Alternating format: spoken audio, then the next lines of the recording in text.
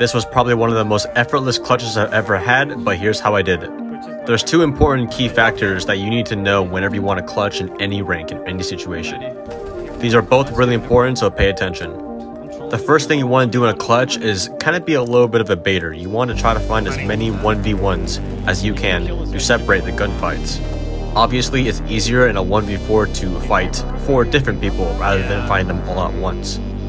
Which leads to my next point is that you need to be fast on your feet. You need to be decisive very quickly or else they will catch on to you. If you're unpredictable, this leads it to that way they don't know where you are actively. Putting yourself in the upper hand will allow you to win more gunfights and clutches. And lastly, if you ever want to do something, fully commit to it because you're better off doing that than hesitating. You're good upside down or phone? I have more tips on my YouTube channel, but be sure to follow me for more Rainbow Six tips.